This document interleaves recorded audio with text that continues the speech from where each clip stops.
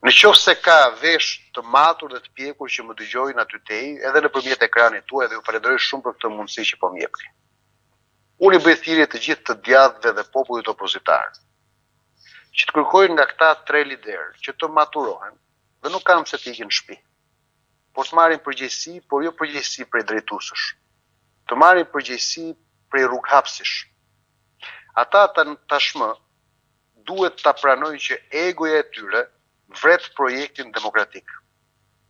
Qëllimi i tyre për të provuar vetveten dhe për të ricikluar vetveten dhe për të rimbajtur nën kontroll po këta njerëz proceset demokratike dhe po proceset opozitare në Shqipëri do të vrasë përfundimisht demokracinë. Një mandat i katërt i Edi Ramës do të ishte katastrofal për Shqipërinë.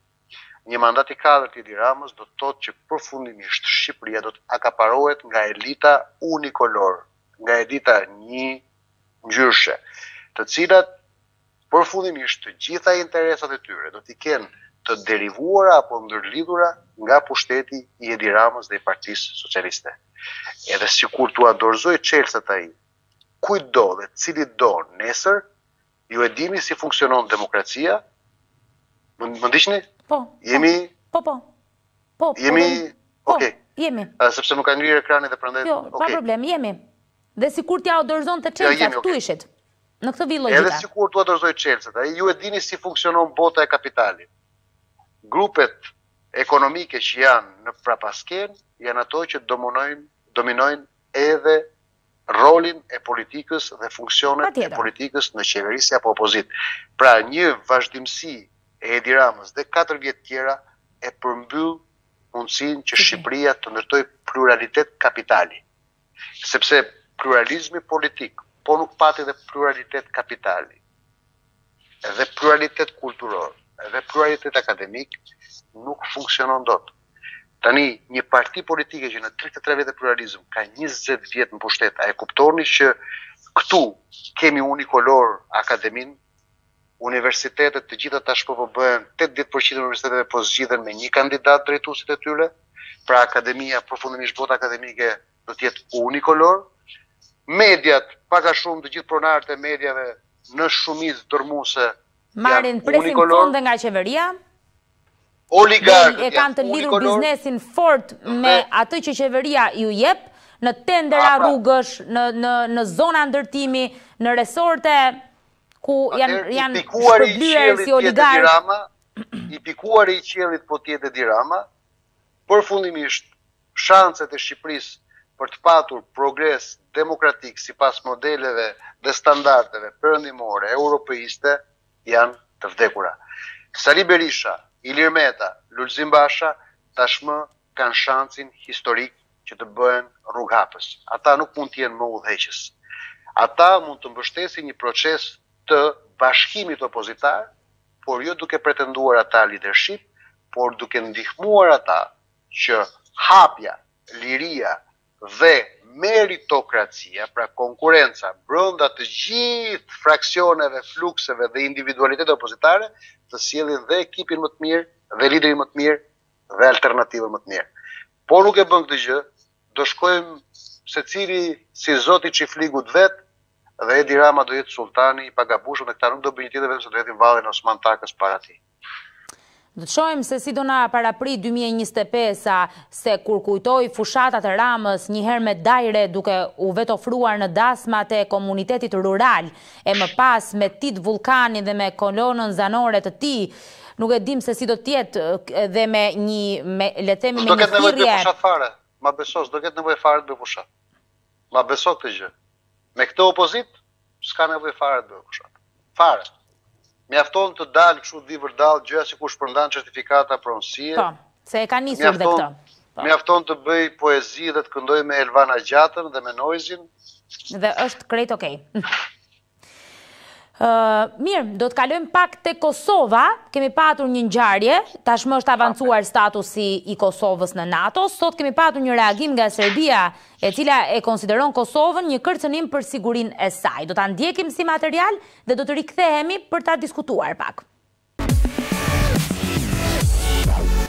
Serbia e konsideron Kosovën një kërcënim për sigurinë e saj, këtë e konfirmoi ministrja për Përkujdesin Familjar e Demografi në Qeverinë e Beogradit, Milica Gjurgjeviç. Reagimi i saj vjen për shkak të avancimit të statusit të Kosovës në Asamblenë Parlamentare të NATO-s, anëtare e asociuar. Anëtaret kryesore të kësaj aleance e shpërblyen regjimin e Albin Kurtit për fushatën e dhunës dhe të spastrimit etnik që po kryen kundër popullit serb, pretendon ministrja pa ofruar asnjë fakt. Gjurgjeviç sulmon NATO-n duke thënë se vendimi dërgon mesazh se terrori, persekutimi dhe shtypja e serbëve janë vlera që Aleanca i mbështet në Kosovë. Një qasje e tillë jo vetëm që paraqet shkelje të rëndë të normave ndërkombëtare dhe Rezolutës dymbëdhjetë dyzet e katër të Këshillit të Sigurimit të OKB-së, e cila parashikon se Kosova do të jetë një territor i çmilitarizuar, por gjithashtu krijon një kërcënim të ri për sigurinë e Serbisë dhe popullit të saj në provincë, i cili është i detyruar të jetojë në një protektorat të NATO-s. Tha Milica Gjurgjevic, ministre për përkujdesje familjare e demografi. Ministrja pretendon se avancimi i statusit është shenjë e qartë që Perëndimi po nxiton që të integrojë Kosovën në NATO, sa më shpejt që të jetë e mundur, për të krijuar kështu një bastion tjetër për zgjerimin e oreksit gjeopolitik në rajon. Fjalë të tilla thuan shpesh nga zyrtarët e Rusisë, si Medved apo Peskov. Ministrja serbe konsideron avancimin e Kosovës për në NATO si një përpjekje e Perëndimit për të ruajtur pavarësinë e Kosovës.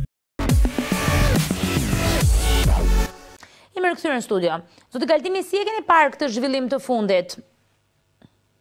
Unë mendoj që është një lajm fantastik që tashmë NATO ka vendosur të ndërhyjë, duke e përmirësuar statusin, pra duke e lartësuar statusin, duke bërë një hap përpara në statusin e anëtarësimit të Kosovës në NATO, Në fakt nuk ka zgjidhje tjetër përveçse përfundimit të procesit të integrimit euroatlantik të Kosovës. NATO është vendi dhe institucioni i duhur ku Kosova duhet të jetë patjetër anëtare me të drejta të plota. Sot neve po shohim një Serbi e cila në të njëjtën filozofi si në atë që u mbajt mend dhe do të jetë tashmë në kujtesën politike të Ballkanit si ngjarja e Banjskës, do të jetë vijimësia e po të njëjtës mendësi, sepse Serbia ka hyrë në atë që quhet procesi i putinizimit dhe i rusifikimit të Ballkanit. Pra jemi në një pikë kur Vuçiçi tashmë ka marrë përsipër që t'i shërbejë projektit të Putinit për të hapur fronte të reja konfliktesh, sepse kjo është dhe mënyra e vetme e mbijetesës së tij, qoftë politike, qoftë elektorale, por edhe në skakierë ndërkombëtare, duket se Aleksandër Vuçiçi dhe Serbia kërkojnë që të marrin një rol si trouble makers, pra si shkaktues trazirash dhe ata janë as më shumë dhe as më pak, po ai shteti vagabond i cili vendos gjoba. Pra ata kërkojnë që nëpërmjet shkaktimit të trazirave, nëpërmjet kërcënimit se ata do ta rishkallmojnë këtë rajon me rrezikun e luftrave dhe konflikteve të radhës, ata presin që nëpërmjet kësaj bota perëndimore, por edhe më gjerë se perëndimore, t'u japin atyre karotën e tyre të preferuar pra investime, investime, investime, gjë që do ta kalcifikonte pushtetin e dhe do ta betonizonte pushtetin e Aleksandar Vuçiçit. Kemi të bëjmë me një projekt autokratësh, por në histori të tilla projektet nuk janë kurrë as kombëtare dhe as rajonale. Ëh, uh, Po ta ndërlidhim këtë situatë dhe me atë që po ndodh me Dodikun në Bosnjë e Hercegovinë, me projektin e Dodikut për ta shkëputur Republika Serbska nga Bosnja, atëherë do të thotë që këtu është servirur në pjatë mundësia edhe i një konflikti të ndezur, një konflikti të nxehtë. Mm -hmm. Prandaj do të thoja që kërkohet maturi nga klasa politike shqiptare në Prishtinë, në Tiranë, në të gjithë rajonin, në Tuz, në Ulqin, në Tetovë, në Shkup, por edhe liderët perëndimor, sidomos drejtuesit e NATO-s, drejtuesit e politikës amerikane, edhe ata tashmë duhet të jenë më të qartë dhe më të shpejtë në veprime, më të kthjellët në mënyrën se si operojnë me këtë rajon, me Ballkanin,